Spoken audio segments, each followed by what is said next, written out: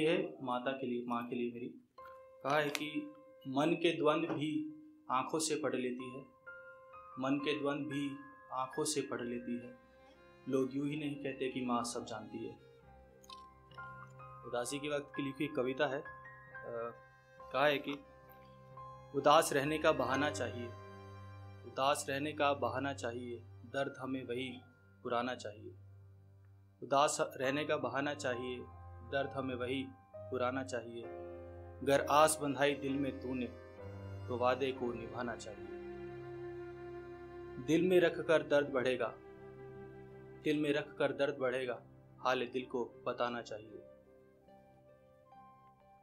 वो समझे ना समझे ये उसकी अदा, वो समझे ना समझे ये उसकी अदा, तुम्हें तो प्यार जताना चाहिए। अगली पंक्ति है कि हर वक्त पर्दे में रहते हो हर वक्त पर्दे में रहते हो, कुछ वक्त तो चौपाल में बिताना चाहिए। आखिरी पंक्ति इस कविता की कि भुलाने के लिए सोचा भी इसी वजह से, भुलाने के लिए सोचा भी इसी वजह से तुम्हें याद करने का बहाना चाहिए। इसके बाद एक छोटा सा ख्याल ही, और ये बेरोज़गारी के वक्त का लिखा हुआ है, जब आप हताश होते हैं, निराश होते हैं तो कहा है कि आता होगा ख्वाब ज़रा रस्ते में है। आता होगा ख्वाब ज़रा रस्ते में है। इरादों का मेरे हाल ज़रा खस्ते में है। आता होगा ख्वाब ज़रा रस्ते में है। इरादों का मेरे हाल ज़रा खस्ते में है। ख्वाहिश अधूरी क्यों रही पूछा मालिक से तो। ख्वाहिश अधूरी क्यों रही पूछा मालिक से तो। कहा ईमानदारी का दाम जरा सस्ते में है। ये आखिरी कविता है। कंटेक्स्ट इसका ये है कि जब आप मूव ऑन करना चाहते हैं बट अभी भी श्योर नहीं है, असमंजस में है तो उस ख्याल के साथ लिखी गई कहा है कि, चलो फिर से ख्वाहिश की नज़र ढूंढे। चलो फिर से ख्वाहिश की नज़र ढूंढे। सादगी से मन की डगर ढूंढे।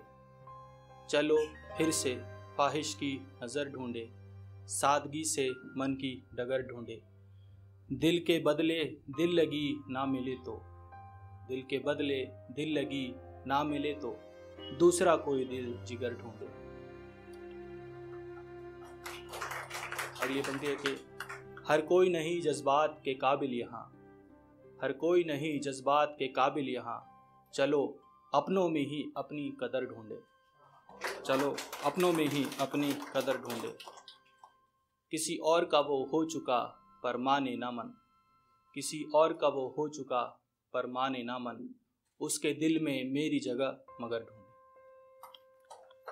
और आखिरी पंक्ति है कि बाग में मैं कभी फला ही नहीं बाग में मैं कभी फला ही नहीं, बीहड़ का कीकर हूँ, बता देना कोई अगर ढूंढे। बीहड़ का कीकर हूँ, बता देना कोई अगर ढूंढे। इसी के साथ अपनी वाणी को विराम देना चाहूँगा। आप सबका धन्यवाद।